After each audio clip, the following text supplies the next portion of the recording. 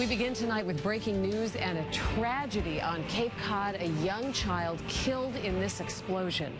I'm David Wade. I'm Lisa Hughes. This is an eight-year-old boy who was playing in a shed behind his house in Hyannis when it blew up. Let's get right to Katie Brace, who joins us live in Hyannis with the story. Katie?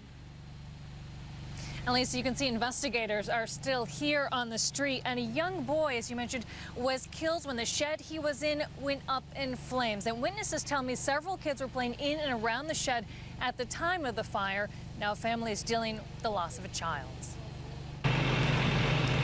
Witnesses describe two powerful explosions from a backyard shed in Hyannis.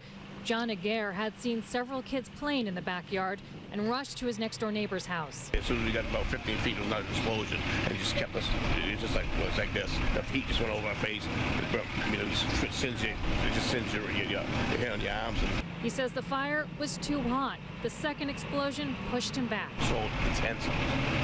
It just kept bringing the flames be here, and it just pushed the, the heat kept getting hotter and hotter. And it being way back here. We were hoping he wasn't in there, but uh, from what I hear, he was. I don't know. He was only seven, eight years old. The district attorney confirms an eight-year-old boy was killed. He lives at this home on Hinckley Road.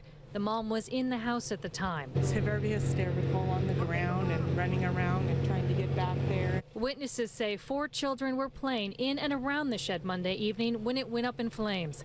Fire investigators say at this time they do not know how it started and what exactly was kept in the shed. Most likely, as I say, it's just a very tragic accident. A tragic accident that brought family members rushing to comfort a mother consumed with grief.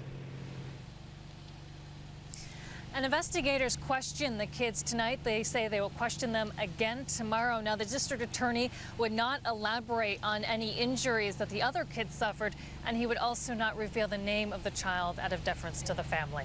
Born live in Hyannis, Katie Brace, WBZ News.